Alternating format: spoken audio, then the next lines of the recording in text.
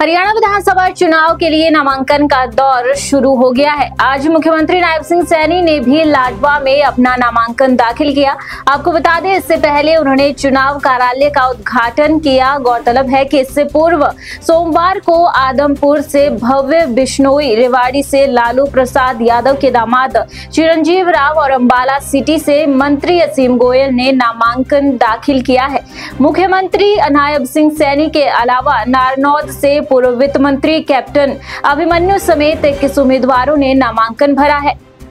इनमें सढौरा से बलवंत सिंह यमुनानगर से घनश्याम दास अरोड़ा, थानेसर से सुभाष सुधा, गुला से कुलवंत बाजीगर, इंद्री से राजकुमार कश्यप, पानीपत शहर से प्रमोद कुमार विज, खरखौदा से पवन खरखौदा, सोनीपत से निखिल मदान, रानिया से शेषपाल कंबोज उकलाना से अनूप धानक, हांसी से विनोद भयाना, हिसार से कमल गुप्ता, नलवा से रणधीर पनिहार।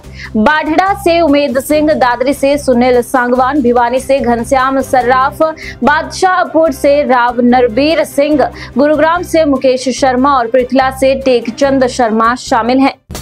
देश और दुनिया की और भी बड़ी खबरों को देखने के लिए हमारे चैनल को सब्सक्राइब ज़रूर करें।